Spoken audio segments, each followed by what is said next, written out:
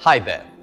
Want the steps for connecting your Windows Vista based computer to the internet? Well, I'm here to help you do just that.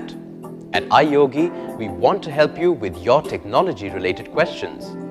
In case you are already connected to a local area network, you might be connected to the internet.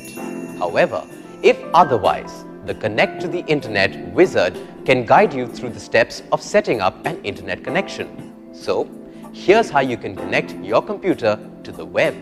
Follow me. Click on the Start button. Go to Control Panel and then click Network and Internet. Select Network and Sharing Center. Click on Set up a connection or network in the left pane and then select Connect to the Internet. Click on Next.